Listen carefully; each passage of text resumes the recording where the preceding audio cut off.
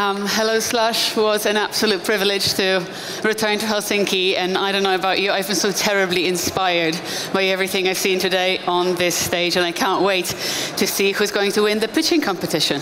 Uh, before we do that, let me talk to you about net zero. And let's have a bit of a show of hands. Who in the audience knows what net zero actually means? We've all heard about it, but what does it actually mean? Yeah, I see some hands, but in a world where um, you know temperatures are rising and we're all trying to reduce emissions and get to a place where we no longer pollute as much as we used to, probably we should all be getting a bit of a better understanding of what net zero is and what we need to achieve it. So net zero is a state at which we're no longer adding more carbon to the atmosphere. So if you look at this graph, what you're going to see here is basically this is all of the incredible and very important carbon reduction activity. So I'm sure you will have heard of all the big corporates as well as countries talking about how they're going to reduce their emissions. And it's probably the most important thing we can be doing. The best way to have less carbon in the atmosphere is to stop putting it there. Now the challenge is twofold. One, uh, not all the emissions can be fully abated. I mean, we can all be investing in solar, in alternative plastics, in hydrogen, in fusion, but there will always be that bit that just cannot be abated. And in some industries, it's going to be 10%, and in some, like in aviation, it might be up to a third of all emissions, but there is that bit that cannot be abated. And the only way to neutralize those emissions is by, uh, oh, there we go, we're back, is by durably removing them. And this is carbon removal rather than a carbon offset. So I'm sure that many of you have heard about um, carbon credits. Often these are credits that pay for protecting forests from being chopped down or paying for cook stove projects or moving to solar. A lot of it is really good climate action, some of it not so much. But what I work on here at CUR8 is carbon removal. So the different ways in which we can sequester carbon from the atmosphere. And why is that incredibly, incredibly important? Is because unfortunately we already left it too late.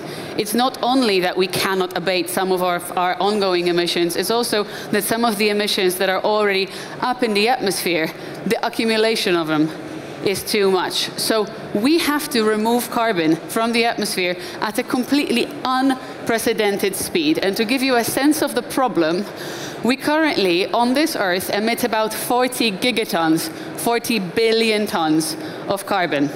Um, we are going to have to, each year, remove 10 gigatons of carbon. Now, these are all huge amounts. It's very hard to visualize it. So think about atmospheric balloons. Think of a balloon that has 10 meters in diameter, and now fill it up with CO2 if we wanted to visualize 40 gigatons of emissions, that would stretch from the Earth to the Moon 10 times, there and back, or it would cover the surface of the planet 11 times.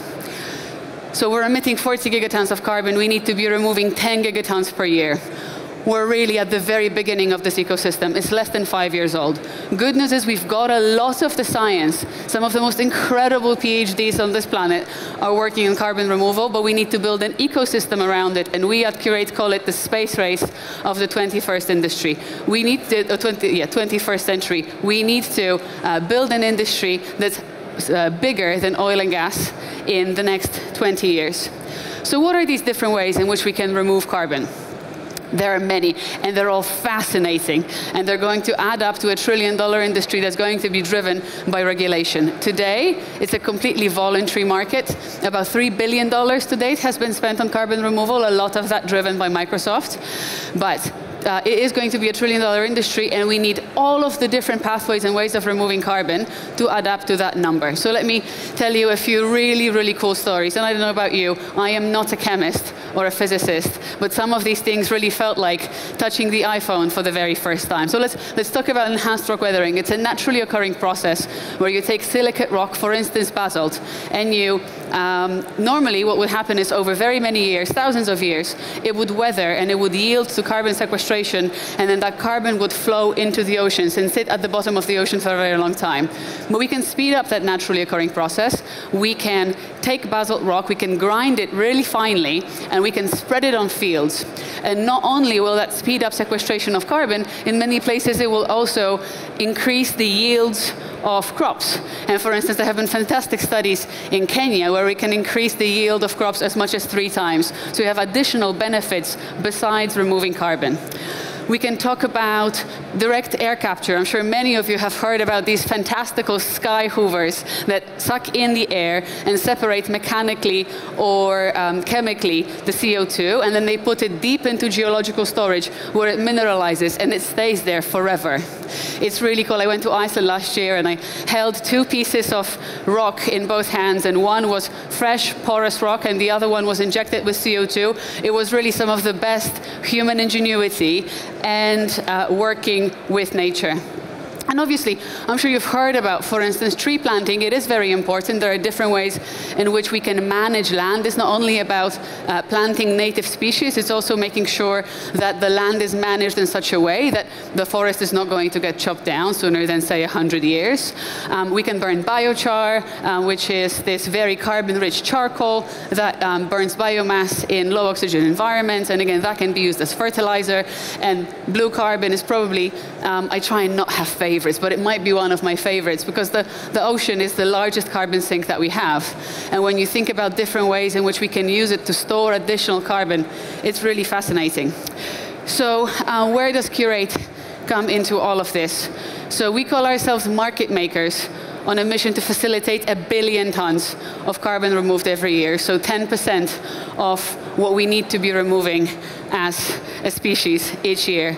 Um, we are a team of 22 based in London. We have some of the world's best PhDs working on the chemistry, on the physics, as well on building software and AI to help speed up the due diligence of when we source credits and then how to manage the credits after they have been purchased.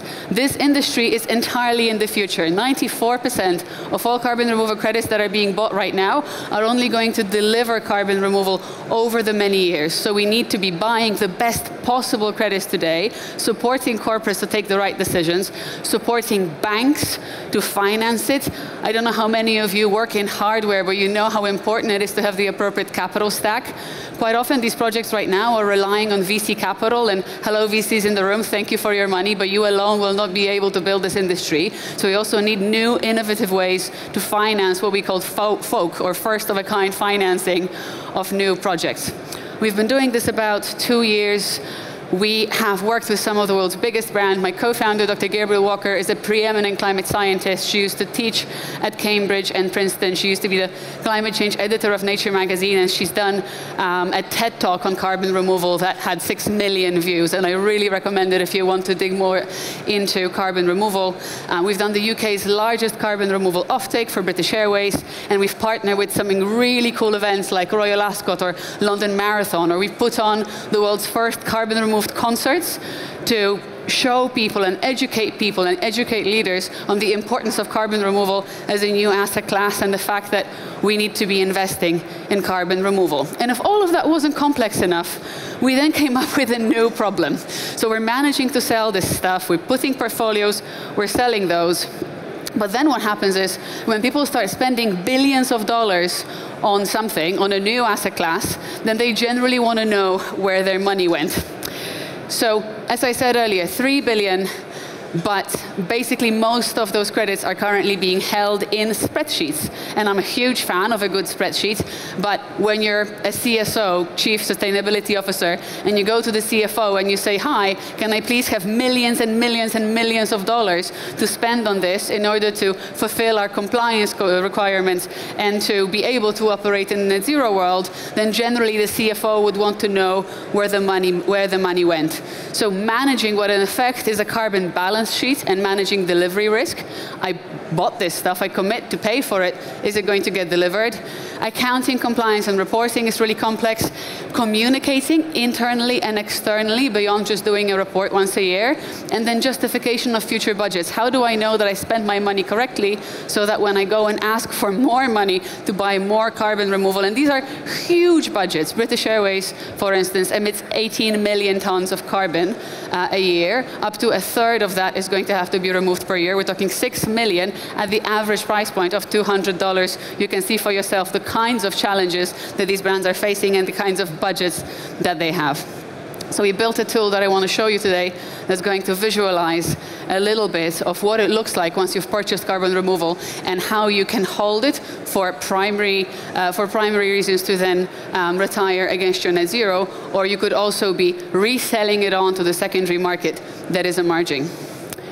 So now let's see if this plays the demo effect I was trying to avoid. Ta-da, all right, there you go. So you are a sustainability professional working in a corporate and this is your carbon removal portfolio. You've bought some soil carbon, some afforestation, some biochar, some biomass with carbon removal and storage, direct air capture, and enhanced rock weathering.